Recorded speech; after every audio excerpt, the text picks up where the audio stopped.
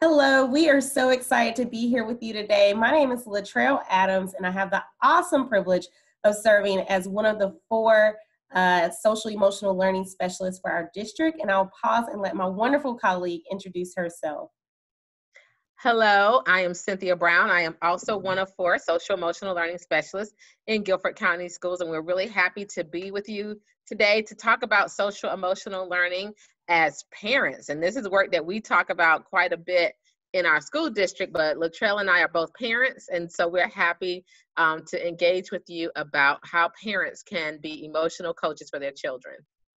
Yeah, absolutely. So we're going to go ahead and just jump right in. Um, so we hope that you know you're ready to get started. So today we're going to talk about what is SEL, why we're doing his SEL, and how we can get started at home as Cynthia said, we both are parents, so this is something that we talk about on a on a daily basis um, with our kids, with our families, and how we can basically just be better and do better, um, not just as professionals, but as parents in our everyday life. And so, um, hopefully, you'll walk away today with some of those strategies and um, be able to see the fruits of social emotional learning develop in your own life. So if we were face to face, we would all ki- always kick it off with an SEL opener. SEL openers are brief, interactive opportunities for us to connect and um, get connected to the work that we're about to do ahead. Um, and so, what I want you to do is, I want you to think about what's your parent superpower. I want you to share um, or think about what your parent superpower is and write that down. Um, give yourself a pat on the back. And so while we pause for you to think about what your parent superpower is, I'll ask Cynthia to share her parent superpower. Um, so I, my go-to is um, reflection, which is also one of my core values. Uh, but I think I'm a reflective parent. I'm often stopping to think about um, how our family is functioning, what we can do better, how we can improve. We have I have those conversations with my husband and with my kids um, and i and of course I, I have my own personal conversations so i'm going to go with reflection. Yeah that's so good. I love reflection um, and i think that that is very that is definitely like one of your uh, superpowers. So thank you for sharing that.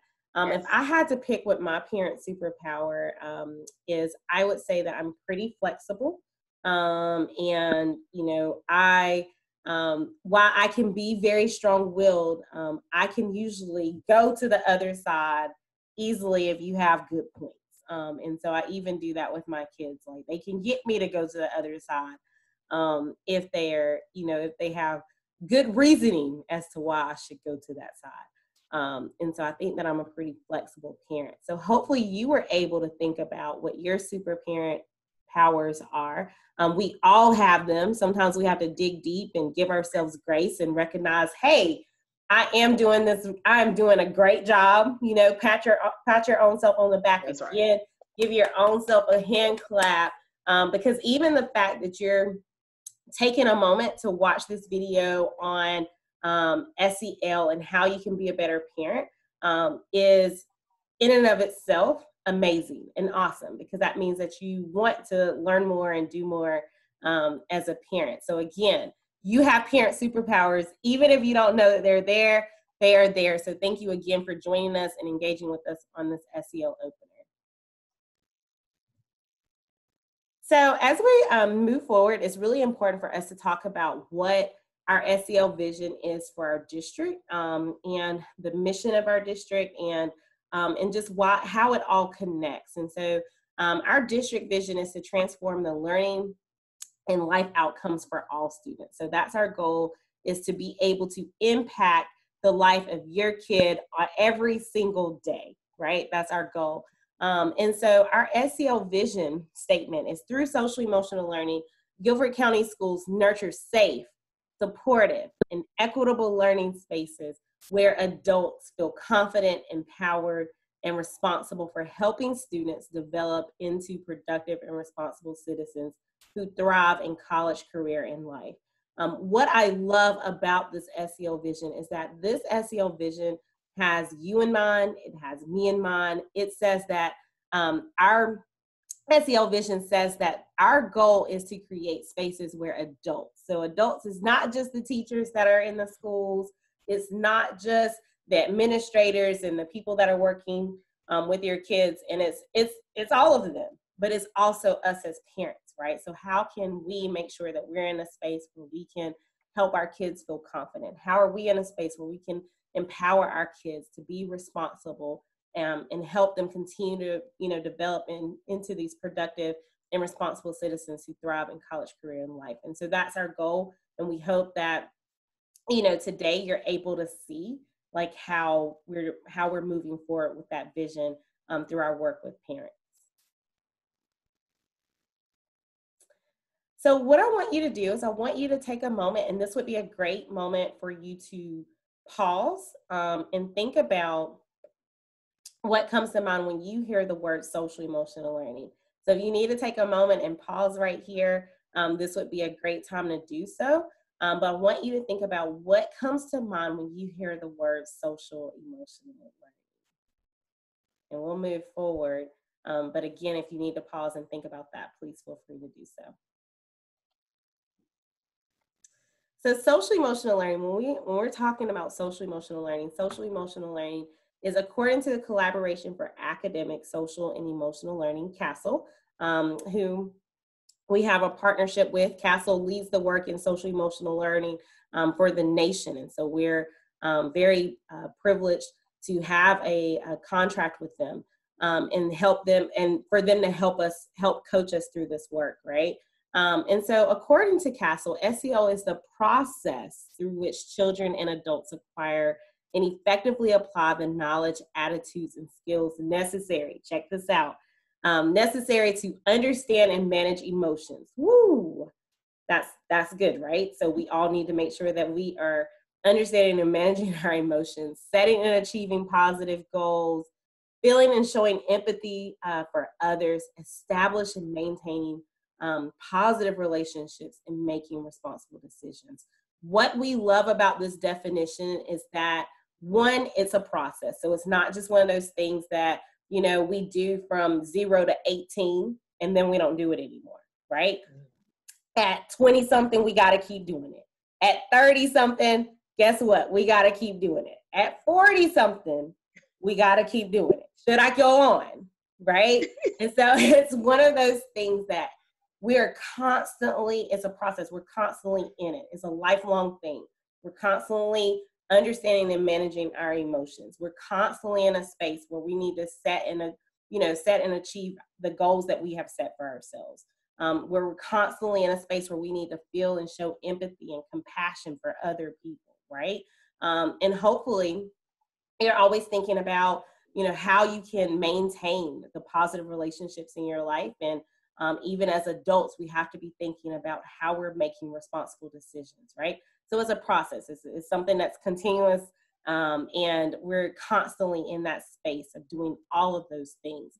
Um, what I also love about this definition is that it says children and adults, right? So a lot of times when people are talking about social emotional learning, they want to make it to where it's a, you know, it's a student thing, where it's a, you know, it's a student thing, but it's not just a student thing, it's a us thing too, right? As parents, we have to think about this. And so um, when we're talking about uh, social emotional learning, that was really important just for us to level set and anchor um, anchor you in this so you, we are all working with the same definition. So again, when we're talking about social emotional learning, we're, we're looking at, this is the framework that drives our work, um, what we're doing in our district, right? Um, and so when we're talking about social emotional learning, we really are talking about five competencies um, and those five competencies are self awareness, self management, social awareness, relationship skills, and responsible decision making, right? So the orange part of this wheel is about those two competencies are about you, right? So your ability, self awareness, your ability again to be able to identify identify the emotions that you're feeling, having an accurate self perception, being able to uh, be aware of your own personal biases, right? Being aware of those because you can't address what you're not aware of. So being aware of that. And so then as we move to self management, self management is again about you. And it's about how you're self motivating, how you're self regulating. What is your stress management like, right? Um, if you're at home um, with the kids during this time, you've had to figure out, um, and hopefully if you haven't, um, but you're thinking about like how you can make sure that you're doing what you need to do for yourself to make sure that you're um, keeping your stress levels down, right? So thinking about that. So managing managing yourself, right? That's what that's about. So self-motivating, self-regulating, organizational skills, stress management. That's what we're talking about here. And and the self-management part is really about managing those feelings and those biases that come up, right? So that they don't turn into um, microaggression on other people. And so then as we move into social awareness and relationship skills, that's about how we do things, how how we exhibit these things um, with other people. So that social awareness um, is our ability to be able to take the take on the perspectives of other other people. It's our ability to have respect um, respect for diverse populations. Our ability to understand what's happening and what's going around um, going going around um, around us. Relationship skills is a, is our ability to be able to build and maintain relationships with other people. How are we what's our communication skills like? How are we um, connecting with other people? So that responsible decision making that's the yellow that yellow piece right there right? So the responsible decision making is the threader and so regardless if i'm in self-awareness i should be in a space where i am making responsible decisions if i'm in Self management, I should be making responsible decisions. Social awareness, making responsible decisions. Relationship skills, making responsible decisions, right? So I should constantly be in a space where I'm evaluating, analyzing, and thinking about like what is my ethical responsibility to myself in the situation? What is my ethical responsibility to other people? And so that's the five competencies when we're talking about social emotional learning. Those are the five competencies that we're talking about. Um, the outside of the circle, I'm not going to spend too much time on that, but that's really when students are able to see um, these competencies reflected in multiple contexts throughout their day, right? So they're able to see, you know, SEL in their homes and in their communities. They're able to see SEL in all of their schools. So not just when they're in elementary school and then they don't see it in middle school, and not just in middle school and then they don't see it in high school, but they're able to see it every school that they're that they go to. SEL is represented, and then also they're able to see it in classrooms, right? So it's not just this teacher over here is phenomenal with building relationships and you know and exhibiting these five competencies but regardless of what class the student is in they're able to see sel um, present um, and so when students are able to be able to see um, these competencies across multiple contexts in their day, that's when they're able to really thrive um, and not just survive, but they're able to thrive. And that's what we want for your kids. Um, that's what we want for our own individual kids and all of the kids in uh, Guilford County schools. Um, and so as we move forward, here's another example of when I was talking about each individual competency. Here's some more examples um, you heard me when I was talking about self awareness, being able to identify those emotions, having an accurate self perception, um, being able to recognize what your strengths are and challenges. We don't like to call them weaknesses, but just your opportunities for your opportunities for growth. And so that self management you see right there, impulse control. So when you've been if you if you're working from home, you've had to you know not constantly be going to the refrigerator and grabbing snacks, right? So those impulse control, but it also may be that you don't say everything that comes to your mind, right? Um, and so being able to manage that. And so stress management, um, that self discipline, self motivation, goal setting, organizational skills, you see that there. Um, again, social awareness. You heard me talk about empathy, perspective taking, all of that. Um, so here's just examples of some more examples of um, each individual competency for you to think about and reflect on. All right, so now we're gonna watch a very quick video um, just to recap social emotional learning. Um, feel free to jot down any thoughts um, or things that stick out to you as it relates to social emotional learning. Social emotional learning is essential. It's the tools that kids need to be resilient, to be problem solvers, to be good people. SEL is really about the holistic development of, of young people. SEL is trying to bring a balance to the individual and what are the personal competencies you need to develop to be successful. How do you pull them all together so that kids can relate and navigate the world more effectively? The myth was that knowledge was information that could be bolted onto a brain like any other kind of mechanical part. The truth is, knowledge is constructive. The truth is, all learning is relational. The truth is that emotion drives attention and attention drives learning. Social and emotional learning is about how you do school. It's about what the student experiences, what the student learns, how teachers teach. We can think about schools and classrooms, uh, out of school time spaces, families, etc., as places where there's an exchange of knowledge, knowledge about the world, knowledge about yourself, and knowledge about the other persons that you're interacting with. All of those kinds of experiences, I think, help form and expose and shape the ways in which young people understand themselves and other people. And we start talking about the whole child. Does your child understand self awareness? Do they understand social awareness? Do they make good decisions? Are they responsible? And then we start talking about what that applies to academics and looking at all the essential skills we need them to be successful in life. Children learn when their heart is open, engaged, connected, and filled with purpose. Learning is magical, and through SEL, we can create conditions that allow all kids to access that magic.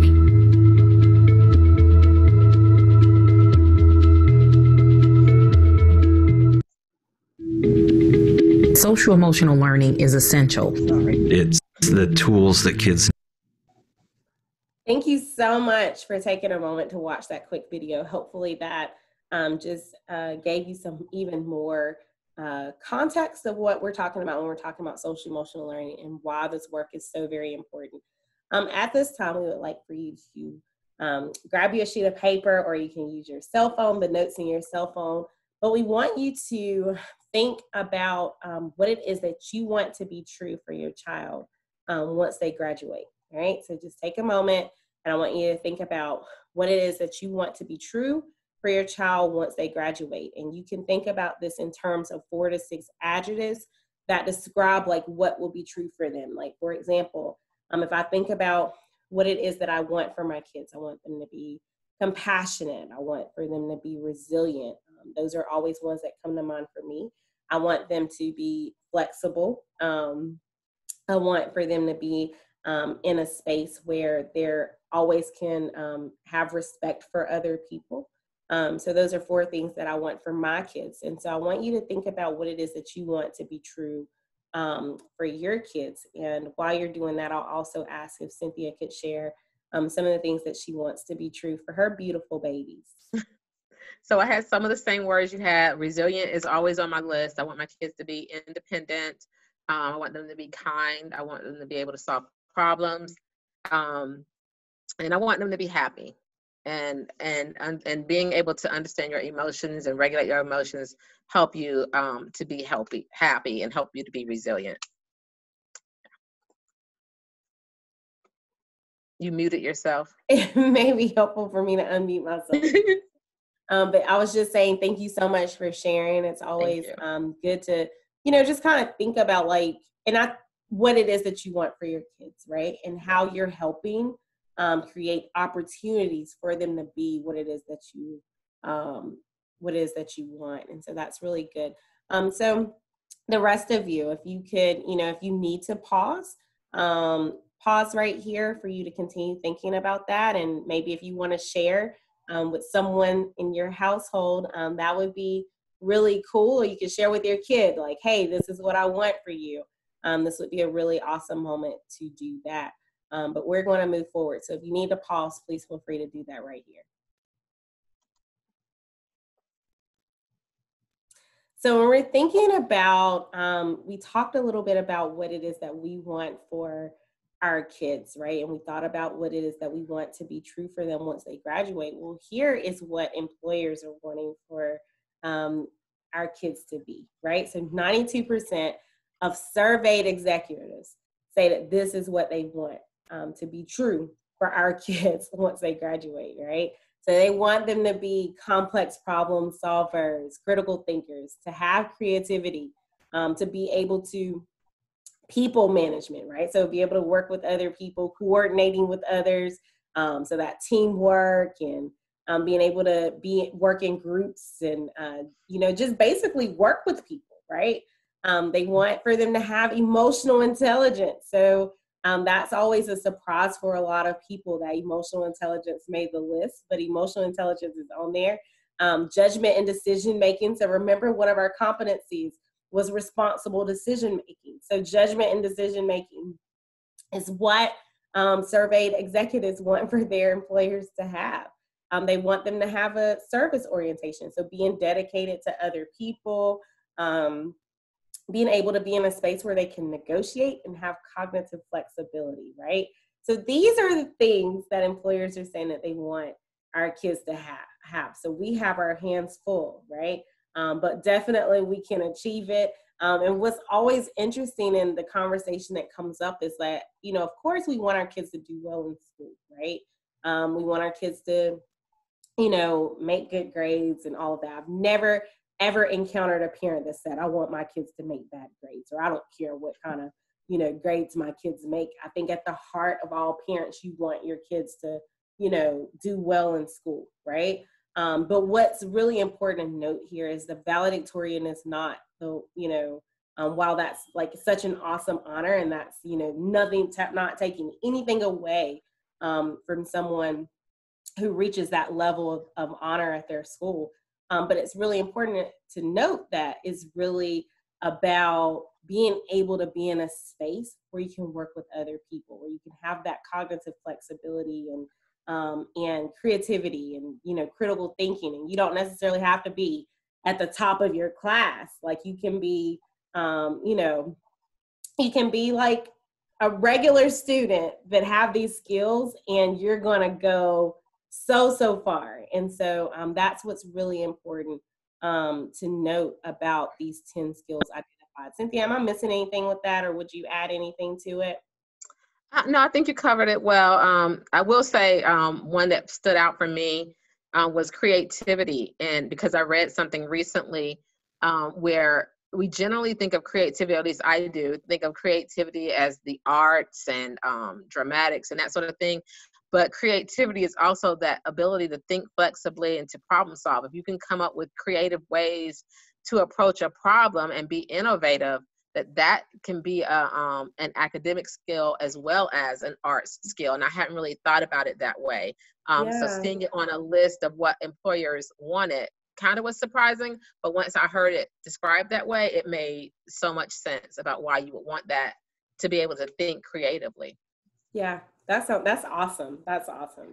Um, so just something else to share with your kids um, and to think about um, as we move forward in this pre- presentation um, to how you can help them um, with developing those skills. Awesome. All right, so um, as we continue on, so um, LaTrayl has um, thoroughly described and explained what SEL is and why we're doing SEL and your responses um, to the tips activity with what you want for your kids helped us to think about why we're, we're teaching SEL now in our district. And this slide um, represents another piece of research about um, teaching SEL skills in school. And so in this research study, they interviewed uh, administrators, teachers, and parents.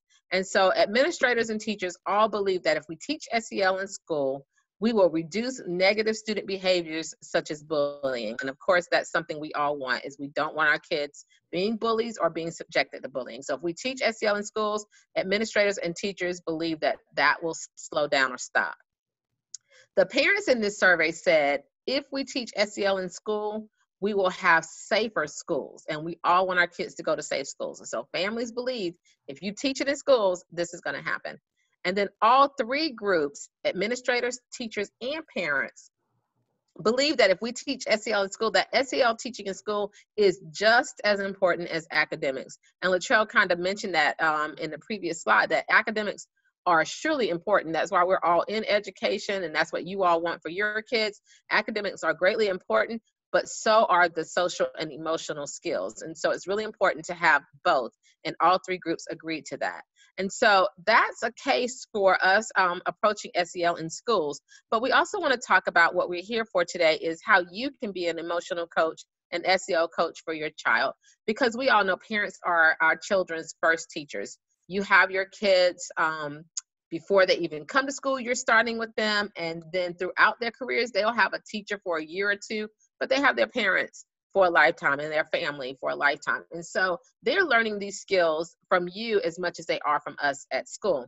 And so these are some, these four bullets here are about some of the things that you are already teaching to your kids, whether intentionally or not, just by being at home with you. So um, our children learn from their parents and their family members how they feel about themselves. So they start developing their self image, their self esteem. They start developing that um, from the time they, they are cognizant of being in this world.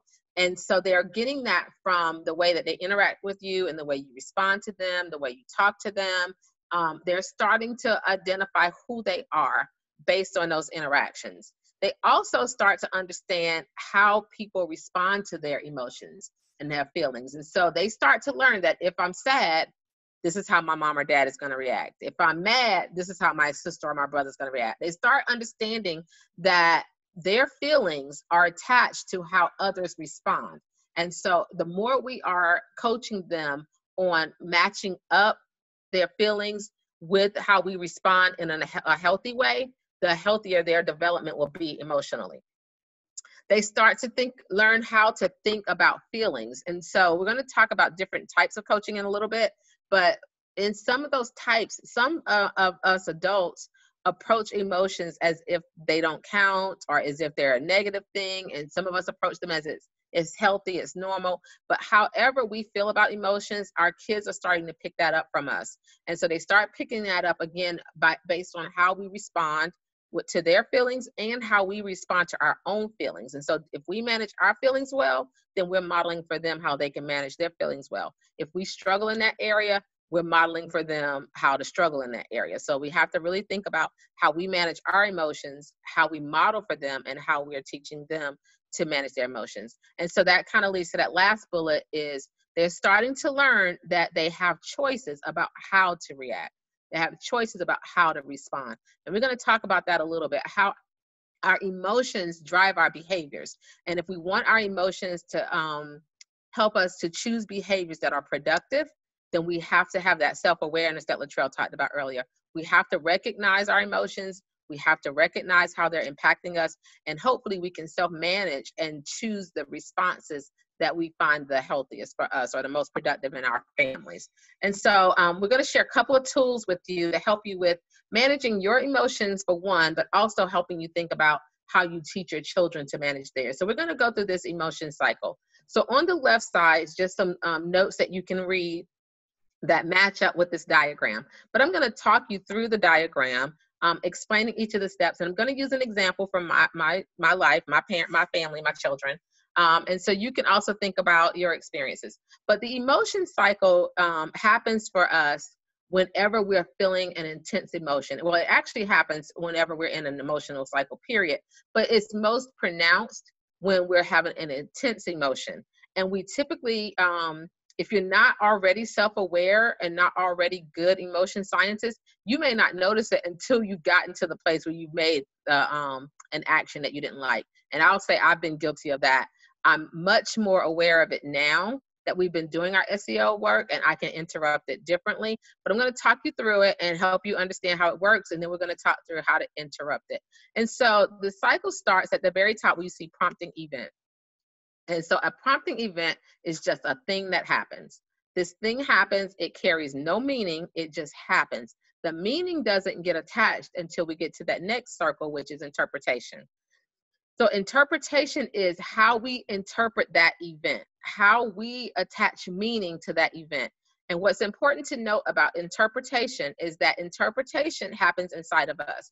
And so, interpretation happens um, filtered through my values, my um, feelings about this situation, my feelings about this person. If the person is there before, if I've been in this situation before, it's impacted about how do I my habits, how do I normally respond in situations like this? And so interpretation in most cases do not include external factors. And that's going to be important when we start talking about how we interrupt it. But um, in the story that I'm going to tell you, um, this is a story with one of my kids. And so, like many parents, I struggle with my kids keeping their rooms clean. And this particular child, um, one of my kids, I have three, one of my kids has the most trouble with keeping her room clean. And it really drives me crazy. And what really, really drives me crazy is when she's doing something fun as if she didn't know her room wasn't clean. And so, in this prompting event, I had gone to her room to put the laundry away, and the room was a mess. And she was downstairs watching TV or playing a game or something. And so the event is I'm putting away laundry in a dirty room. That's it. It doesn't carry meaning. It's going that situation is going to mean something different for you than it did for me, than it did for her, than it did for the next person.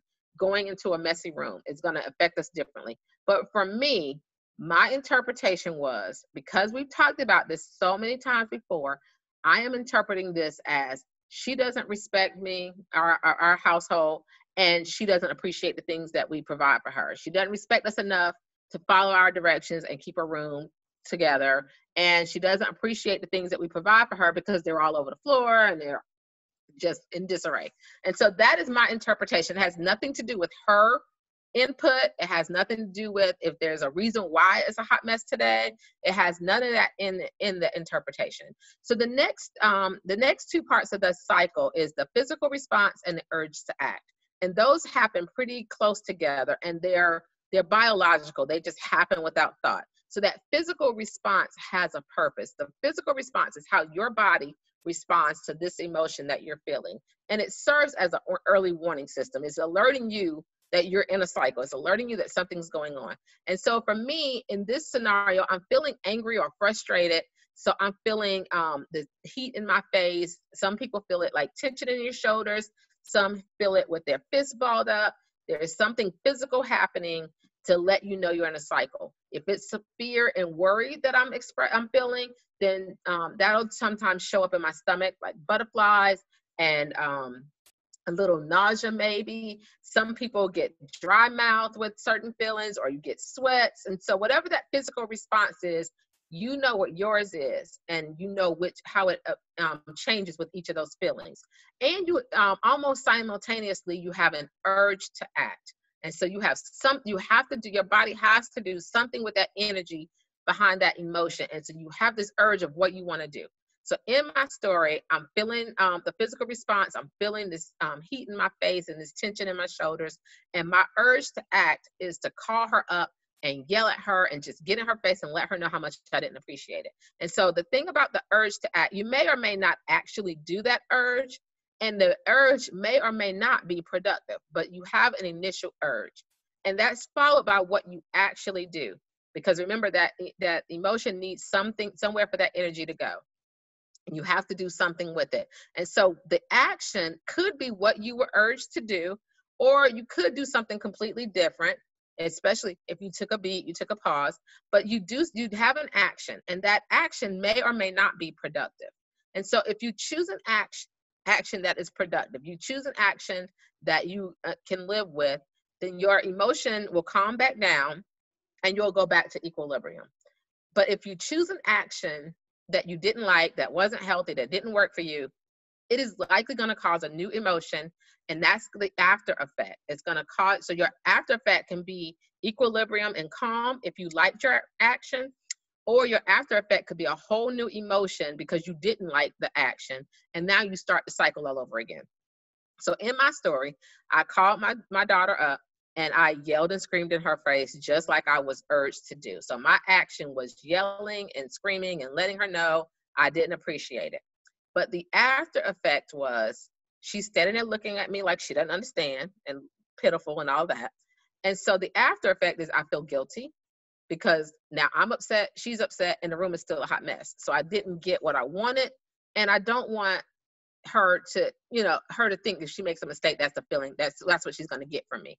And so that wasn't the most productive response for any of us. And so now I'm in that cycle of guilt and I have to do something different. And so for you, um, the point here is that you understand when you're in a cycle and you understand if that cycle is taking you somewhere you don't want to go and how you can interrupt that. And so that's what we're going to talk about next is understanding how emotions work that emotions are just information and um, they're temporary and we can't interrupt that cycle. And so if you're in a space where you can recognize it and interrupt it and get more productive um, actions out of it more often you're going to find yourself in a healthier space emotionally and then you're going to be modeling better for your kids and you're going to be teaching them how to do it um, if you understand it. So i'm going to walk you through it again the same cycle in words here a little more quickly. So you have that prompting event that again has no meaning so you can't really do anything to interrupt your cycle there because it just happens. Things happen life happens. But the interpretation step is a good place to stop and interrupt because in that interpretation stage, you're telling yourself a story based on your stuff that I mentioned before. But if we pause and take a moment and consider are there other interpretations? Could there be something else going on here? Or can you pause and get more information? So I could have paused and said, I wonder if she didn't clean her room because she had this big project to do at school or I wonder if um, she didn't clean her room. Actually, what it turned out to be, to be honest with you, is she thought it was clean. We just had two totally different definitions. And so, one thing about the interpretation stuff is you can just get more information. So instead of calling her up and yelling at her, I could have called her up and said, What's going on with your room? Why is your room not clean? Then she would have said, which is what happened in the second part of the cycle. And then she said, It is clean. What do you mean? And then I'm like, Well, this is not right. This is not right. This is not right. And so I getting that information helped me to see helped me to get more information and see that we just had two totally different interpretations of clean. So then my action was completely different. Instead of yelling and screaming, we problem solved and we had a better outcome. And so getting more information or thinking about reframing what could actually be going on here instead of just using your internal stuff.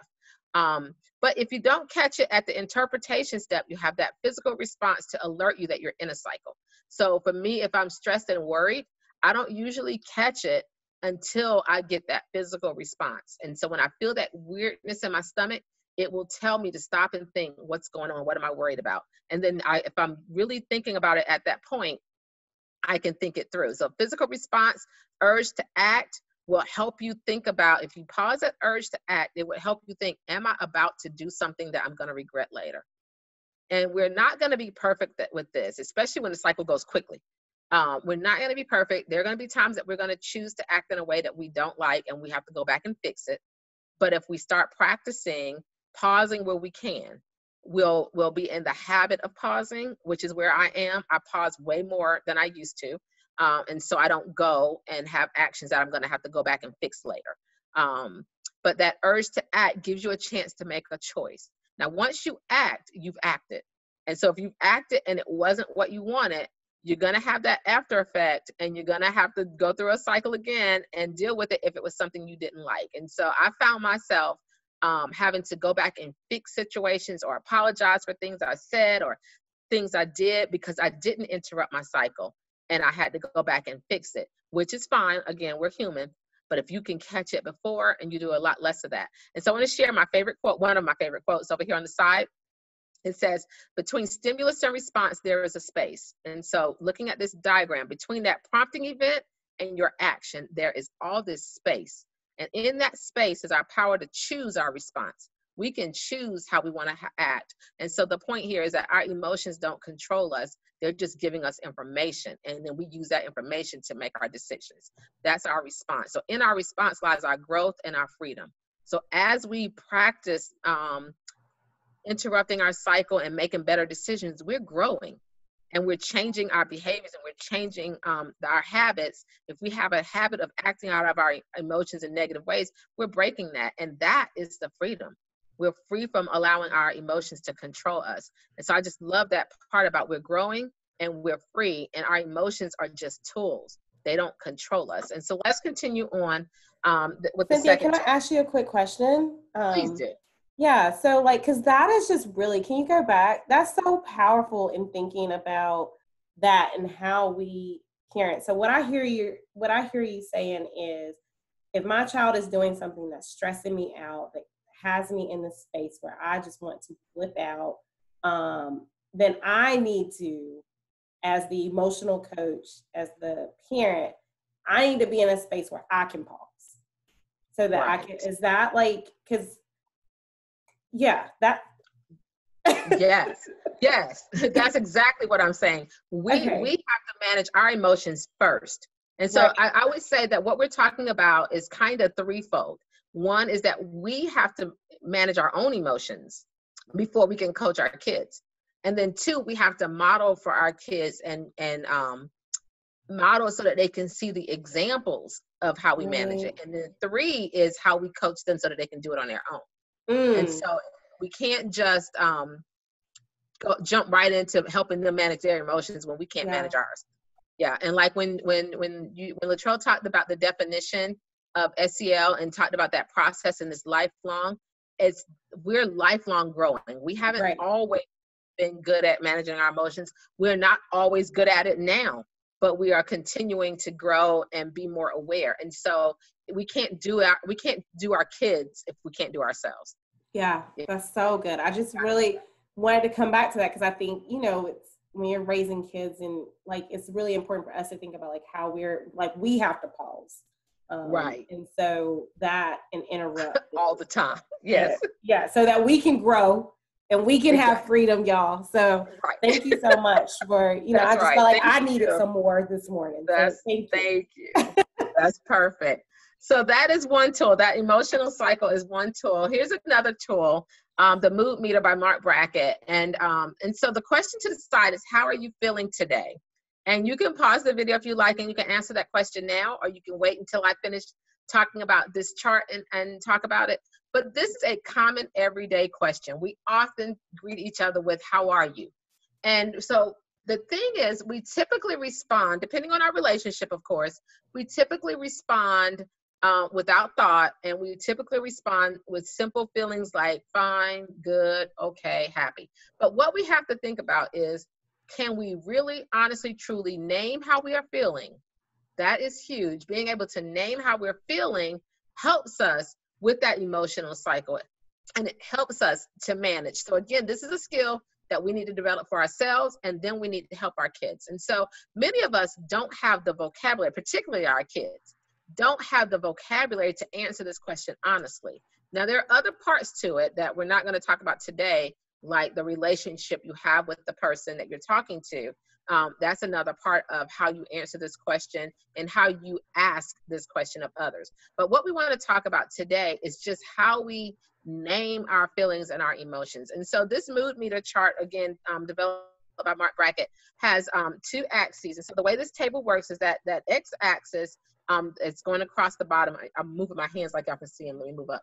But that um, x-axis is how pleasant that feeling is. So we try not to tell our kids that emotions are good or bad, but some are more pleasant than others. And the, the unpleasant ones, we don't want to stay there because they're unpleasant.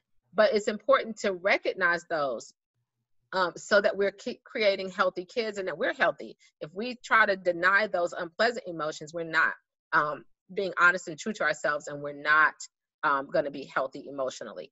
And then that um, y axis is the energy. How intensely are we feeling that emotion? And so the, and it's divided into these quadrants. And so like the yellow quadrant is high energy, pleasant. It is so good. I'm hyped. This is um, joyful, pleasant, positive. You see the kinds of words are in that box with that top corner being ecstatic, the most energetic, most pleasant. The um, beneath that in the green area, it's pleasant, but it's a little calmer, less energy behind it. And so I'm in a good space, but I'm not like busting out with this emotion. And so with the bottom most corner, the um, most pleasant, least energetic is serene. It's a positive, good feeling, but it's very, very calm. That blue quadrant is not very pleasant, but not in a high intensity um, unpleasantness. And so these feelings are not the ones that we want to stay in. We don't enjoy them and they're not very pleasant, but they're not like urgent and intense and pushing. And so the corner of that, the least pleasant, lowest energy word is despair. And so it's not a space you want to stay, but it's not as threatening as a red. And so then when we look at the red, that is unpleasant, and high energy. I am intensely not feeling this emotion right now. And so um, you can see what kind of words are there. And the top corner of that one is in enraged. And so we don't want to stay enraged. If we're having that feeling, we really want to think about how we can interrupt that cycle.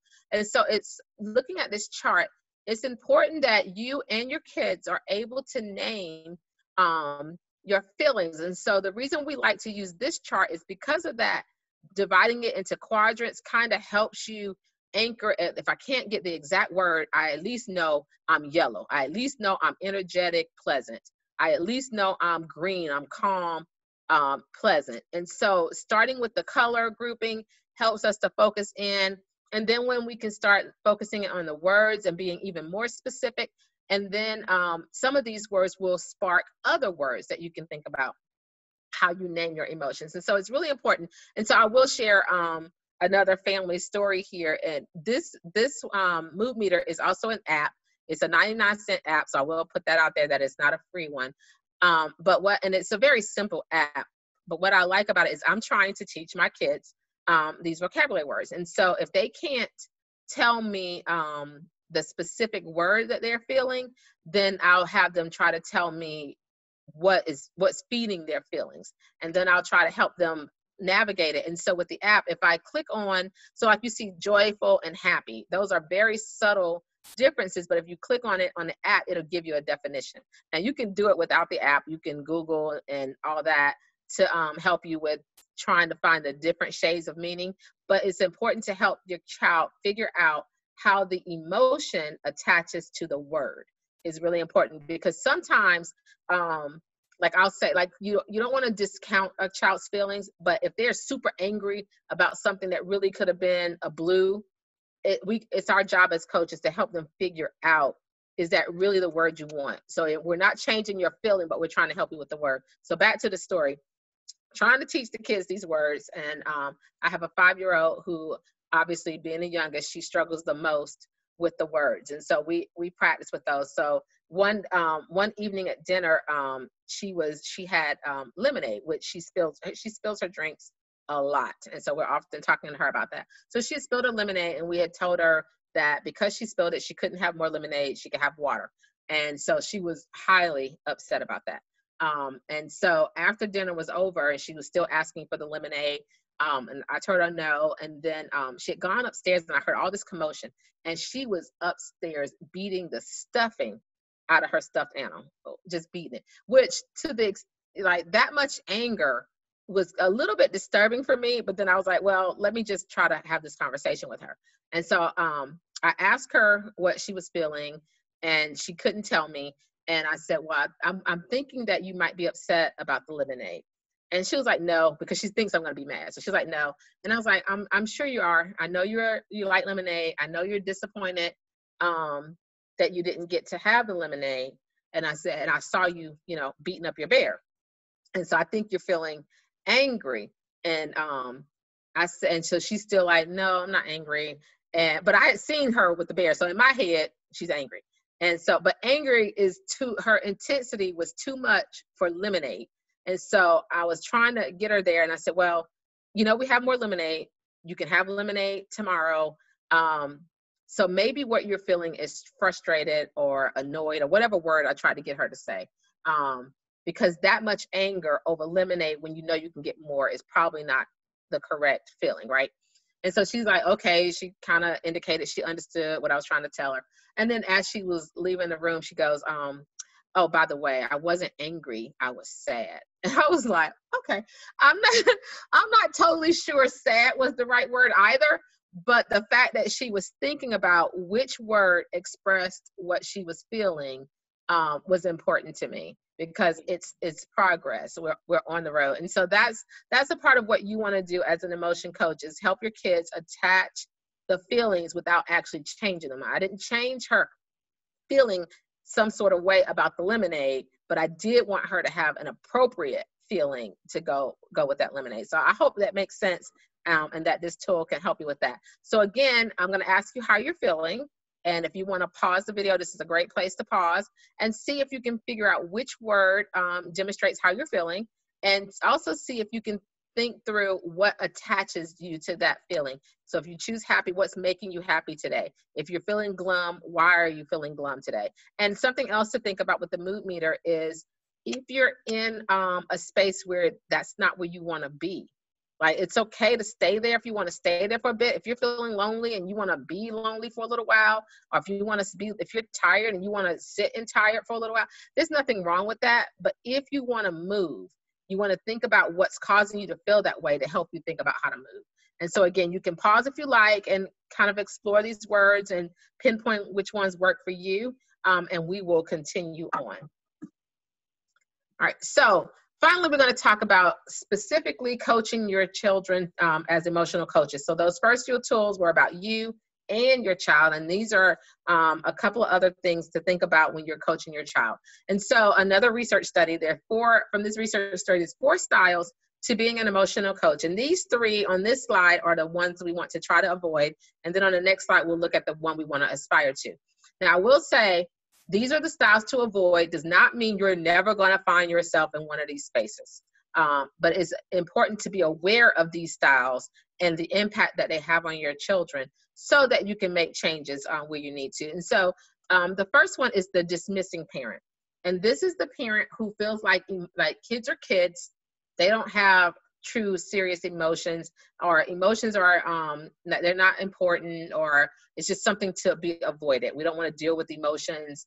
That's that touchy feely stuff over there.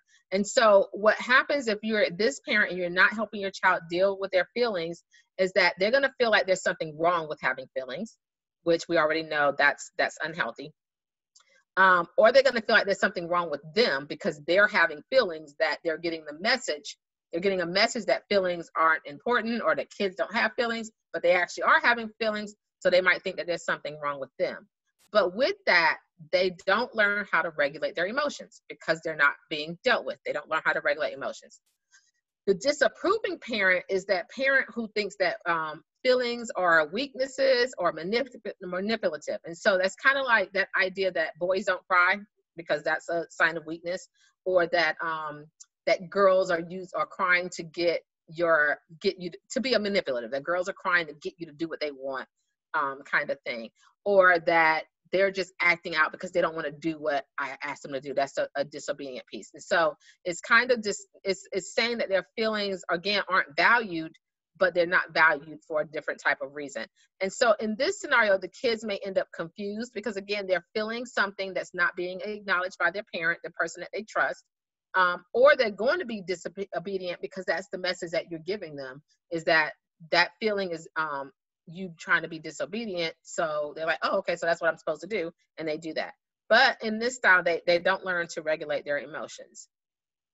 And so then the laid back parent is the parent who does recognize that their child is having feelings, but they're not giving them strategies of what to do with that. And so it's kind of the parent who says, um, yeah, um, like kind of like rubbing the bag. Yes, you're sad, or yes, I understand you're angry. It's okay, it's okay but we don't go any further than that um, and show them what to do with that. In a lot of cases, that's because we may not know what to do with that. So hopefully, you're going to get some strategies today to help with that because emotions is not something we talked about a lot in our, at least in my age group, in, in our youth, um, at home or at school. Um, to a great extent. So we may need some help with that, which is why those previous two tools can be helpful for you. Um, but these kids um, will potentially have trouble concentrating because all those emotions are swirling around because they're encouraged to express them, but they don't they don't get to do anything with them. They don't get to interrupt it, and so they have all these emotions um, in them that they don't know what to do with. So they have trouble concentrating. They often have trouble making friends because they don't know how to regulate emotions with other people. And so they're giving their friends, they're giving other kids um, these emotions or they're receiving emotions from the other kids and they don't know what to do with that because they don't have those skills. And so they have trouble with their friends. And then again, they cannot regulate emotions. And so in all three of these styles, we're not helping our kids learn to regulate emotions and that's that's our goal is helping them recognize their emotions so that they can manage them so that they can regulate them and so what we want to aspire to is the emotional coach style and so with the emotional coach um, style, um, where we all are, which is why you're here today, is we're we're saying that we recognize that our kids have emotions and that they have to learn to do something with it. So that first bullet is that we see it as an opportunity. They're feeling an emotion that's an opportunity for them to stop and think about where they are, what's causing that emotion, but it's also an opportunity for us to coach them. Um, and so we don't get frustrated, we don't dismiss them. Um, and I, I said this earlier, that third bullet, we don't tell them how to feel, but we do, and it's it's really sensitive to try to do. We don't tell them how to feel. We don't tell them um, that their feelings are wrong or bad, but we do try to help them see the connection between their feelings and their behaviors. And so before this work, I was an elementary school principal. And I can remember getting students in my office who were in trouble, who were angry, and they would come in with their fist all balled up. And so remember from the emotional cycle that that's a physical response. But that was my cue that they were not ready um, to talk. And so I, I would say, you know, when you're ready, let me know. And so when I saw their hands unclench, I knew they were ready to talk. And a lot of times, what they were super mad, angry about was something that really might have been frustration or embarrassment or some other feeling that took them to anger and took them to an intensity that caused them to act in ways they shouldn't. And so, trying to tell them, uh, I would tell them like it's okay to be angry. Um, I can, be, I will be angry too if somebody did blah blah blah to me. But how you choose to respond to that anger, how you choose to use that anger, um, we can find a more productive way to do that. And so that's what we're saying here with our kids is, is not that you can't be angry. It's that your intensity of anger doesn't match the situation, like my daughter with the lemonade, or your intensity of anger is causing you to make decisions that you're going to regret later, like some of my students may have done. Um, and so this is a good time to listen and empathize with your kids. So if you look at the benefits for the kids, so then the kids are going to learn to trust you more and trust their feelings because you're hearing them, you're responding to them, and you're not trying to change them. They learn to problem solve because that's what you're coaching them to do to make decisions out of your emotions that are productive.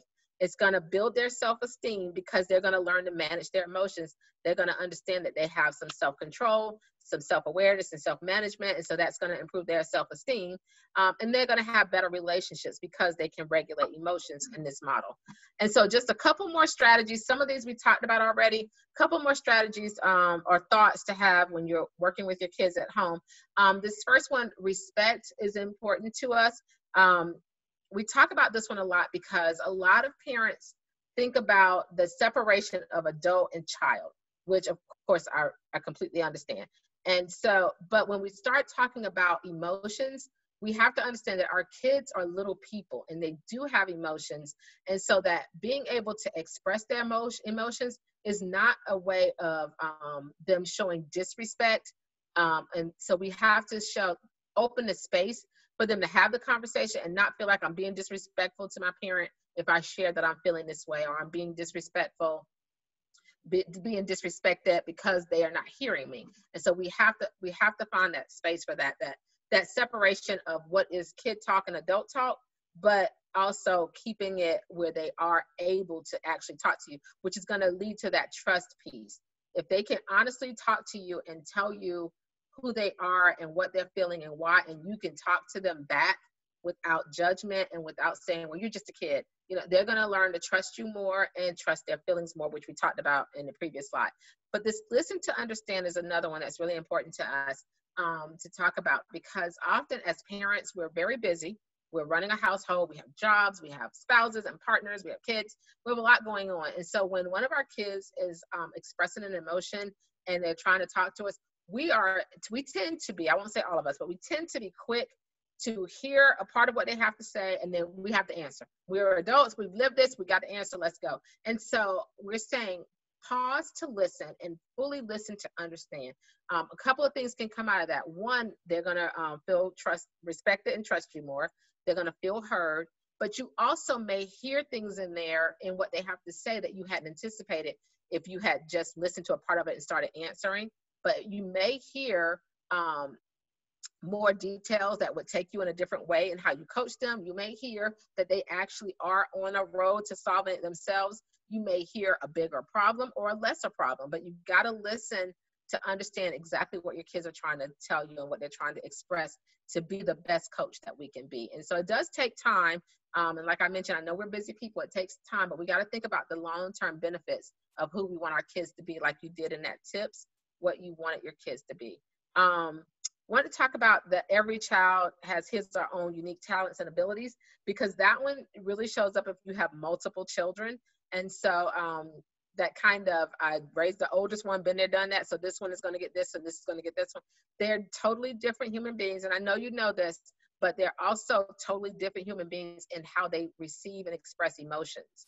And so, specifically about emotions, um, listening to them as individuals to hear how they express themselves, what they're feeling, but also it helps you to um, use, as it says here, use their unique talents and abilities in the problem solving part. And so when you're helping them problem solve that is specific to their who they are and what their strengths are, that's going to go back to that nurturing their self-esteem because they're they're going to then play on their strengths as well. And you're going to help them problem solve more specifically. And finally, I think we mentioned this earlier too, that modeling piece kept coming up but you got to model um, the behavior you want to see. And again, that is a hard one. I can tell you in, in the Brown household, there are times that I hear my kids say things to each other that sound horrible, but then I realize they heard it from me kind of thing. So it makes me adjust my behavior. And of course, I know there are things that are for adults that are not for kids. And you can tell that to your child. Like, I did this because I'm the adult, but I don't expect children to do that.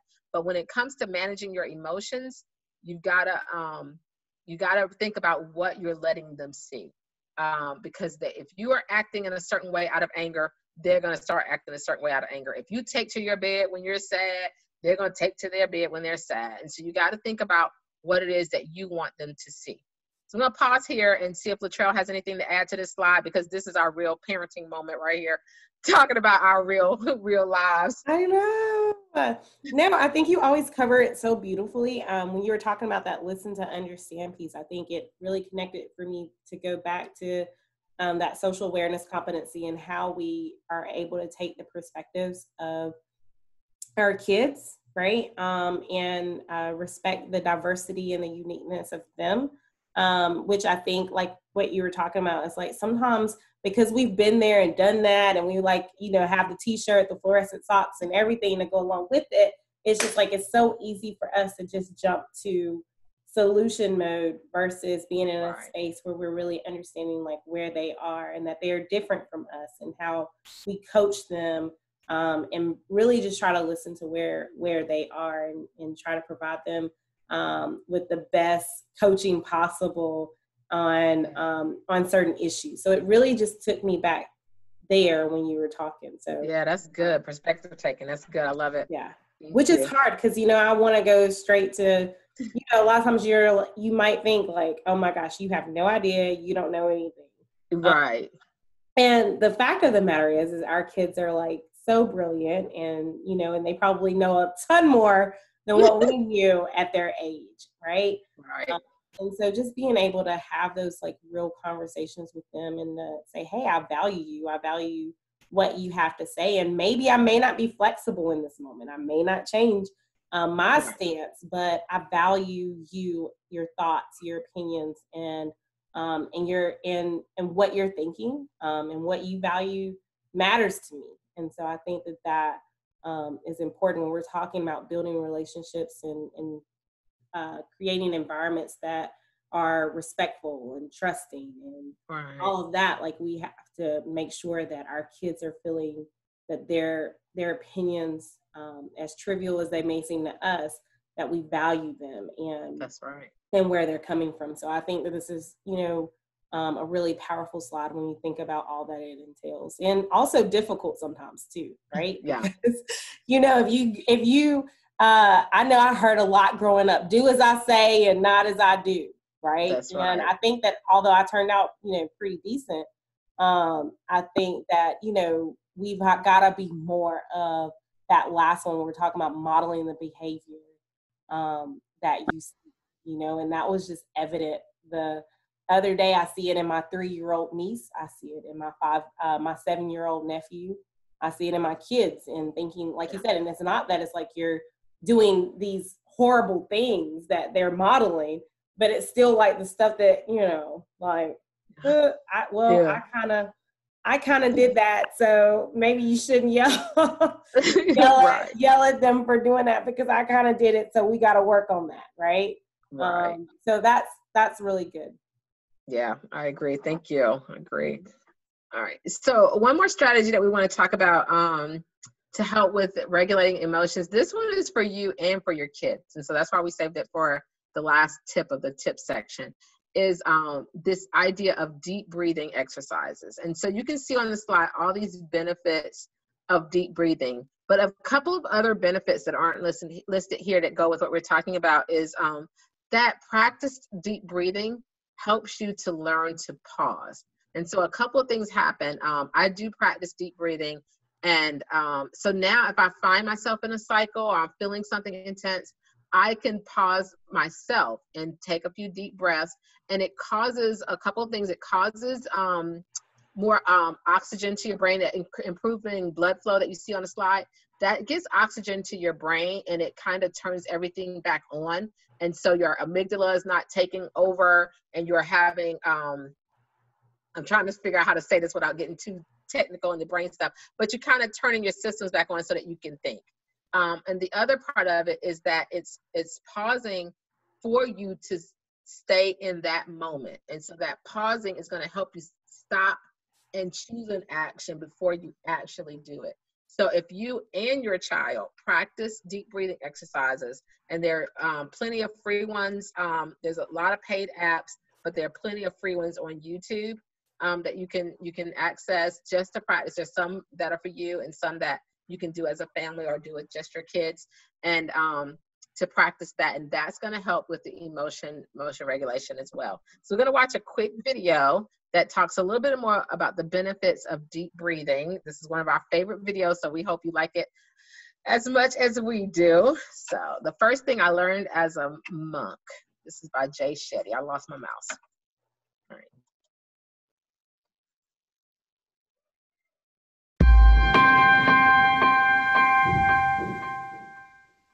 So I remember my first day of monk school. I've just shaved my head. I'm now wearing robes. I still look like I'm from London, like I can't get away with it. I'm walking around and I notice this monk who's teaching. This monk's 10 years old and he's teaching a group of five year old monks, right? And I see him teaching. He looks like an adult. Like, wow. you know, his ability to like teach these five year olds and conduct himself and he's got this great aura about him and so i'm kind of eavesdropping on his class i can't obviously go and sit with a bunch of five year olds even though i really want to because i'm like i feel like a five year old next to that 10 year old and I, I went up to him and I said, What are you doing? And he said, Oh, well, we just taught their first class ever. And I said, Oh, cool. And he said, Well, what did you learn in your first class at school? And I said, Oh, well, I learned the alphabet and numbers. And I said, Well, what did they learn? He said, Do you want to know what they learned on their first day of school? I said, Yeah, of course. He said, The first thing that we teach them, the first thing you learn at monk school is learning how to breathe. I said, Why?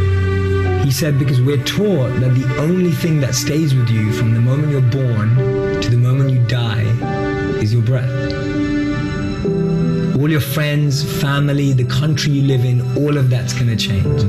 The only thing that doesn't change, that stays with you from the moment you're born to the moment you die, is your breath. He said, Notice when you get stressed, what changes? Your breath. When you get angry, what changes? Your breath. When you're sad, what changes? Your breath. When you're happy, what changes? Your breath.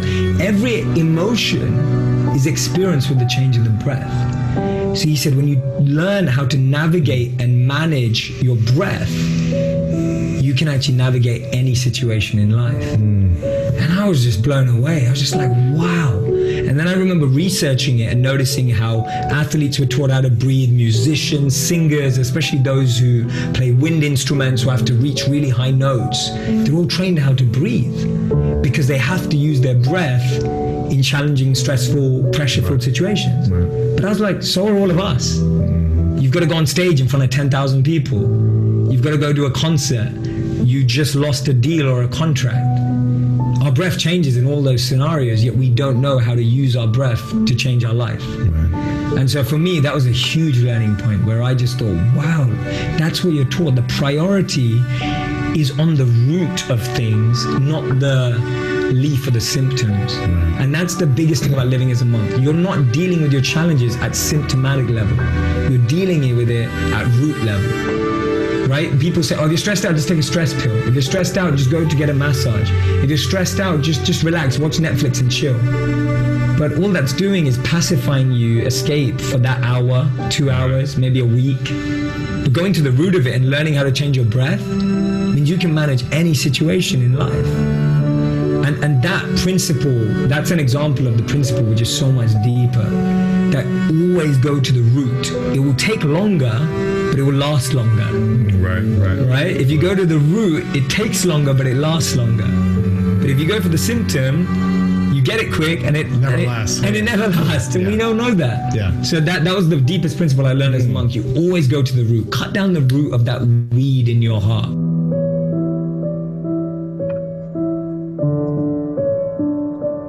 So we hope you found that as meaningful as we have and just gave you some more thoughts about why deep breathing is so important. And I hope you um, try out some of the, the deep breathing um, activities on YouTube.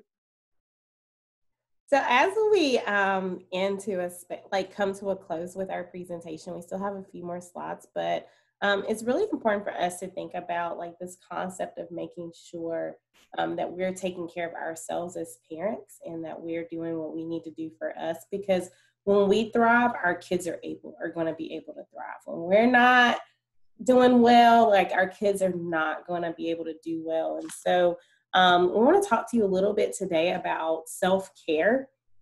And when I tell you this, um, this wheel, these eight dimensions of self care, really just changed my perspective on how I thought about self care. Because originally, when I would think about self care, like I would think about um, some of the things that um, was mentioned in the video, like going to get a massage or going to get a pedicure, get my nails done, like, you know, a day um, just shopping and just doing me, right? And so we think about in um, in a time like we're in right now, like of you know the pandemic, where you couldn't go do any of those things. So how are you going to take care of yourself, right?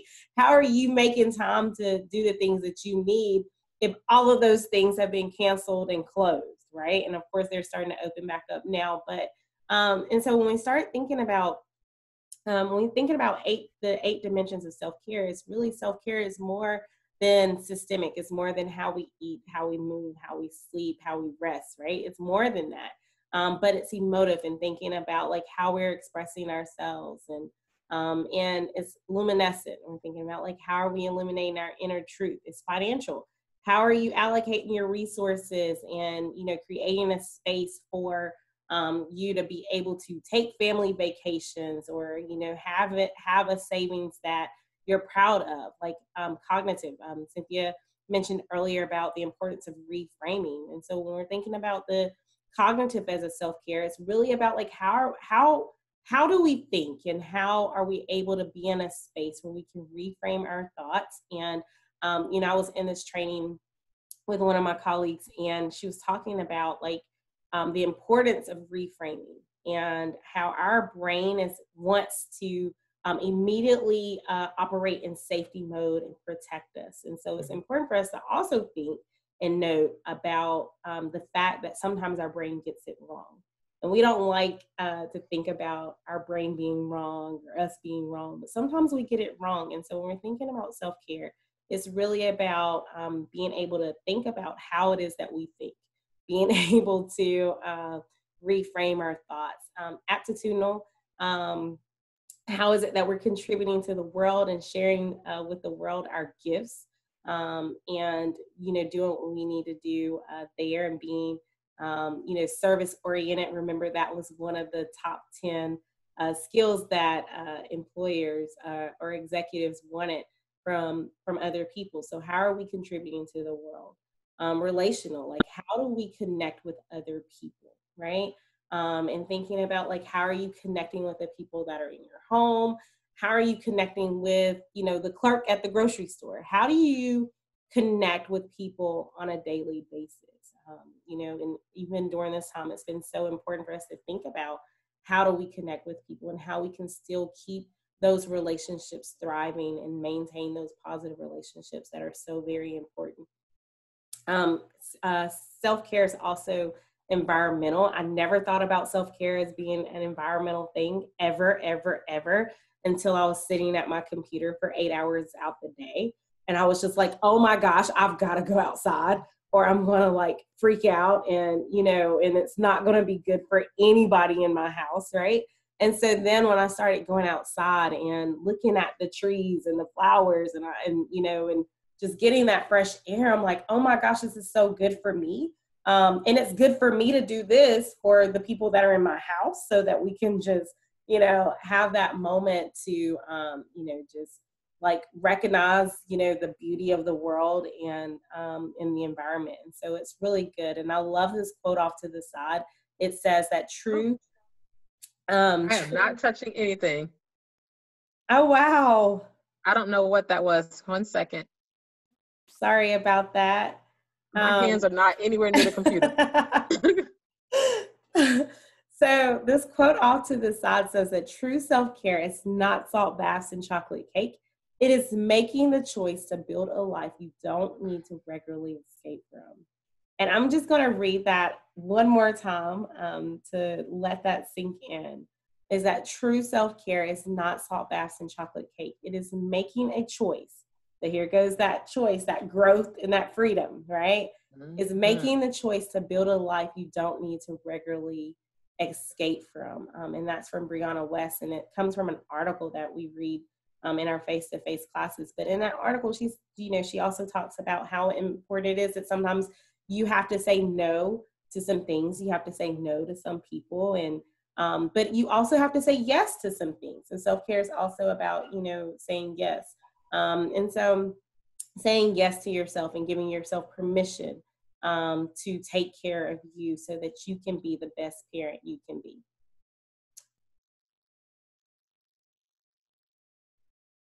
All right, here's a self care plan. Um, and what I would like to invite you to do, and this would be a great place uh, to pause after I explain it, is think about like, you know, creating you a self care plan and what is it that, you know, your mind needs, your body needs, your spirit needs. Like, what is it that you need to be able to thrive? Like, what is it that you need to do on a daily basis? Do you need eight hours of sleep or can you function off of five, right? but like what is it that you need do you need to you know do you feel you know better when you eat on a you're on a certain diet or um, you know, or making sure that you're getting all your water and, or, you know, do you need your, like, I know Cynthia has to have that coffee every single day. Um, and like, look, there it is right there. So I know that she has to have that every single day, and that's important for, you know, her to have to like kind of get her moving. And while I'm talking about her, I have, I have mine right here too, right?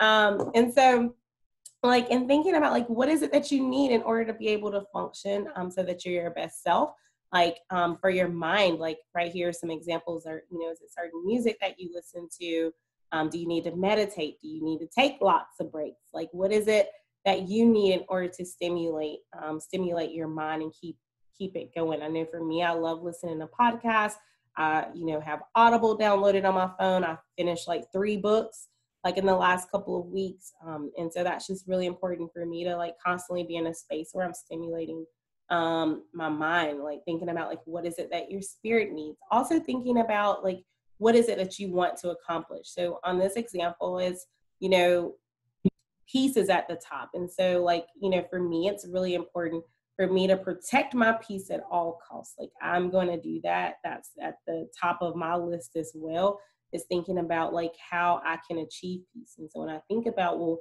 what brings LaTrayl peace? Um, one of the things that brings LaTrayl peace is organization. And so when things are kind of out of whack, when things are not like, you know, my house is not in a space that I want my house to be, it doesn't make me feel peaceful. And, you know, and so my kids probably get tired of me saying like, well, can you pick this up? Can you do this? Because for me, like I I want to accomplish peace and I'm very, um, uh, I take all precautions to protect my peace, right? Um, so, but thinking about like, what is it that you want to accomplish, whether, you know, it's, um, you know, serenity, like the examples on here, serenity, control, happiness, and like, and how, and what that specifically looks like. Like, if happiness is one of the things that you want to accomplish, how do you achieve that? If you want to be a person who is physically fit, like how is it that you achieve what how what steps do you take in order to be able to achieve that? Um, it's also important to think about like you know earlier Cynthia talked about like the mood meter and how important it is to check in with yourself. Um, it's also important uh, to have supportive people in your life, right? And so if you find yourself, um, you know, in blue or red, like who are supportive people that you can call to kind of help talk you off the ledge and you know help get you into a into a better space. Um, and so having like a ready list available, like hey, like I know Cynthia is a supportive person in my life, um, you know, and being able to have those people like written down like right then and there of those people that are supportive to you. And also think about like in that same vein think about like who is it that you're support for you know um, and thinking about um, and even reaching out to those people as as a different as a as another way a part of your self-care plan. Um, and so i would like for you to pause um, the video at this moment um, and you know and write down at least like three to five things um, in each area uh, so that you can um, that you can commit to as it relates to being able to creating a self-care plan for yourself so that you can be able to be the best you that you can be.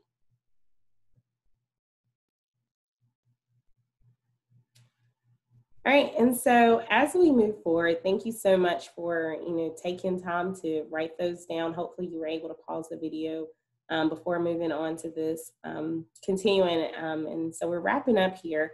Um, but something that we really want you to think about is how are you uh, constantly, you know, in a space where you can model, coach, and practice uh, the SEL competencies. And you will remember that the SEL competencies were self-awareness, um, social awareness, self-management, relationship skills, and responsible decision making, right? And so, how is it that you're modeling that every single day, coaching that, um, and practicing that? That's so very important because, you know, Cynthia mentioned earlier is that we're not in a space where we get it right all the time.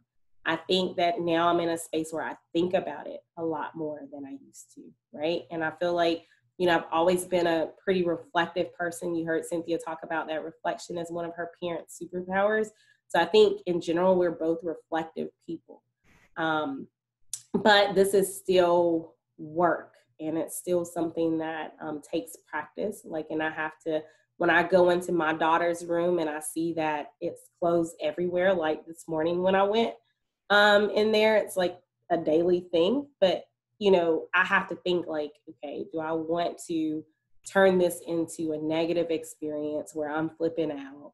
Or am I just like, you know, um, going to encourage her and think about like how I can how I can help, you know, in this situation because my first instinct, y'all, is to flip out and you know and be like, okay, so are we going to clean this room today? And you know, um, but and so thinking about like how it's a daily thing is what I'm getting at. It's a daily thing. It's a practice thing as parents, and we have to be in a space where we give ourselves grace, we give ourselves compassion, and um, and we recognize that it's a lifelong thing, right? And that, that, like the definition said, it's a process, and it's not just one of those things that um, that we're gonna, you know, get it just like that. Um, and just think about like how we can create supportive environments in our home. Um, and even, you know, when you know Cynthia was giving the example about her daughter, and recognizing that hey, we had two different definitions of what a clean room was. We had, you know, like I've often, you know, had that experience with my kids with kid cleaning the kitchen. I'm like, I clean the kitchen, this is how it looks. When you clean the kitchen, you just wash the dishes. I'm confused. Like, how does that work, right? Cleaning the kitchen means that you are sweeping the floor, you're mopping the counters, you're like, you know, putting the food up, you're doing all of these things, right? Um, and so just making sure that you're in a space that you are creating a supportive environment in your home um, and thinking about like how you can help um, help your kids uh, like develop these SEL competencies as well.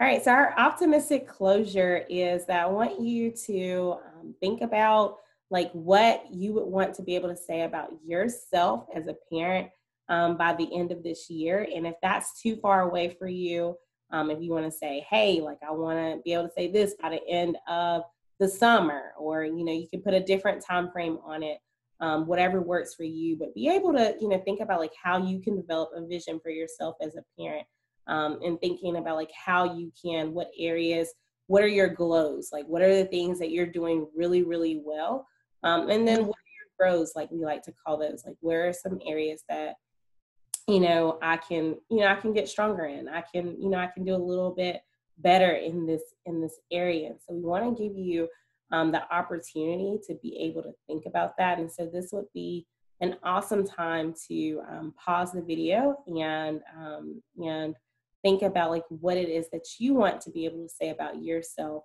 um, as a parent by the end of the year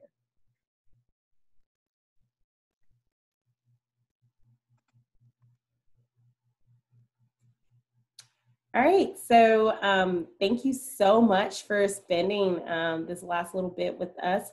Um, we know that we covered a ton of information, um, but we are um, confident and uh, 100% sure that it will impact um, you as a parent, it'll impact you as an individual if you really take it to heart. we would ask that you share any feedback that you have with us. Your feedback is a gift. Um, and we would love to hear any feedback that you have. So if you could um, take your cell phone out and you can either open your QR code or you know open the camera um, function. If you have an iPhone, open that camera function on there, and it should pop up. Um, and or you know here there's the Bitly code as well, um, Bitly link as well.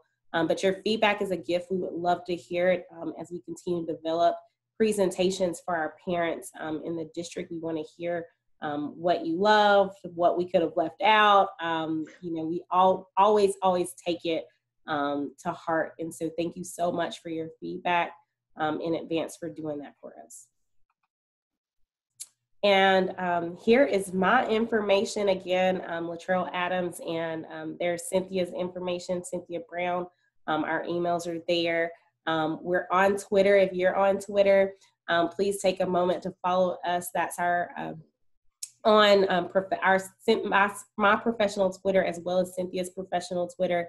Um, our GCS SEL office also has a Twitter, and so we would encourage you to uh, follow uh, all three of those because we are constantly posting about SEL and how um, you know that can be a benefit for you in your home and resources um, for you. If there's ever anything that you need, um, please, please, please um, let us know. It's always been a pleasure, always a pleasure to help um, parents or to be able to give them resources and things to think about in, in order for us to be able to thrive more as parents is something I know that I'm uh, really passionate about, and so is Cynthia. So thank you so much, and I'll pause and let Cynthia uh, say uh, her goodbyes to you. Yeah, I kind of ditto what you said. Um, we really appreciate this time with you. We absolutely love talking about SEL because we see the the benefits of it. But I have to say, we really love talking about it as parents, and so we really enjoyed our time with you. We hope that you um, got something out of it useful. Thank you. Thank you so much. Have an amazing day, and pat yourself on the back that you made it through a whole presentation with us. awesome. Have a great day.